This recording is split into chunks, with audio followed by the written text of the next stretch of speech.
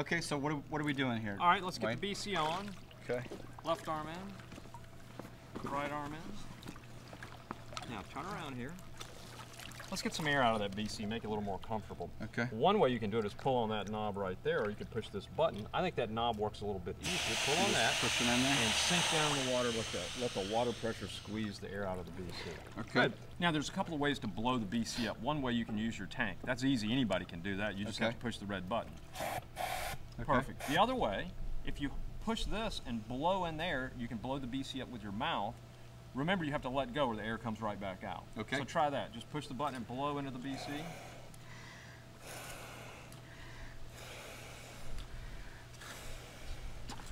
And that's just there just to save air. Correct? Right, exactly, just to save air. If you lean back, I think that BC is going to float you great. Oh, yeah. Feels good, Wayne. Are we done? Are we scuba diving? That's we're, we're not scuba diving yet. We're Okay. close though. Okay. Hey, that's the easy part. The hard part's getting the air out of the BC. Okay. Like I said earlier, you can pull on that knob, but you need to lean this way so that the dump valve is at the highest point. Pull on that knob, sink down underwater. It gets the air out fast, doesn't Nice. it? Yeah, it does. Perfect.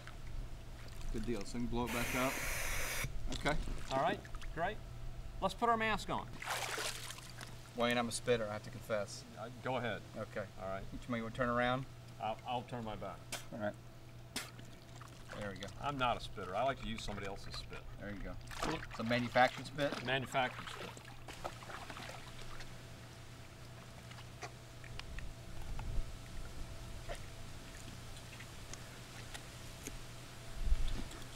Okay, we're gonna have to stop right here. It, the snorkel's on the wrong side because your regulator comes over the right shoulder. Wayne's telling me I got my snorkel on the wrong side. You don't want to be on TV with it on the wrong side, okay? He's taking care of me. That's how we do it up in, uh, In, in our Orlando, area. Yeah, yeah, in Orlando, Orlando, you, you put it on the wrong side. Yeah. Okay. How's that? That's perfect. Very good.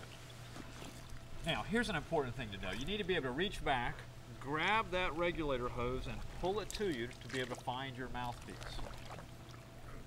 Another way is to scoop your arm like that so Okay. it comes up on the inside of your arm. You're going to basically put this in your mouth and start breathing. We're going to kneel down, go underwater, and breathe. Here we go.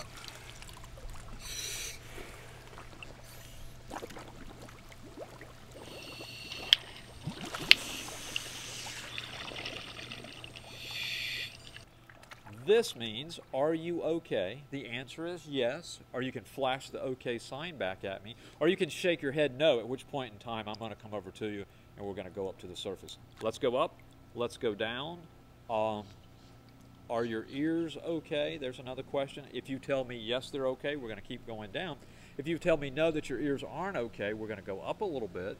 They're going to clear automatically, and we'll come back down doing something, pinching our nose and blowing gently. Another hand signal is if somebody comes up to you, signals you that they're out of air, they need to share air, they'll come over and grab your octopus, pull the octopus off, put it in their mouth, and start breathing. You're going to be breathing off the black one.